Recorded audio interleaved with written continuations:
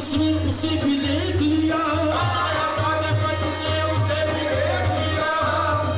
बनाया काव्य उसे भी को